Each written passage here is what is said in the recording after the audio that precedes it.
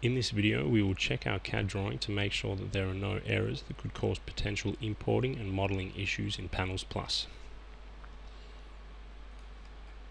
Opening our CAD drawing we see we have a plan with several different elevations in 2D. Panels Plus can import any DWG or .dxf file provided that it's in 2D. Any 3D Revit or CAD files must be converted into 2D elevations before they're imported into Panels Plus.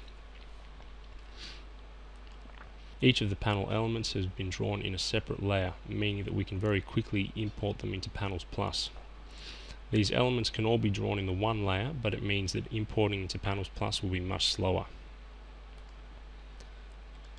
Looking at the individual panel elements, we can see that this panel has been drawn as a closed polyline, which is the preferred method. Panels can also be drawn of many different line elements, provided that the line elements finish at the same point. If there's a small gap between these two lines, the panel won't import correctly. There should also be a small gap between adjacent panels so that Panels Plus knows when one panel stops and the other starts. The same applies for voids which can be made of closed polylines or line elements and recesses. Feature lines can be made of line elements and ferrules out of circular elements. Looking at the plan view and turning off the grid for clarity, we can see that a single line element has been drawn through the center line of every elevation.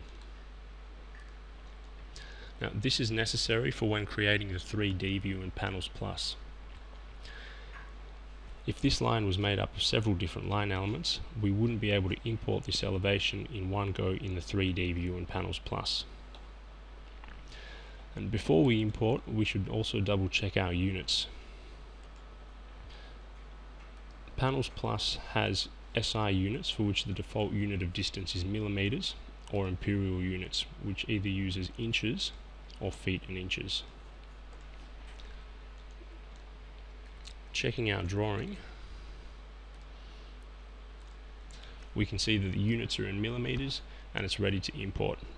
In the case that SI units are used and the unit of distance is meters, the drawing can either be scaled in AutoCAD or a scaling factor can be applied in Panels Plus before the CAD drawing is imported.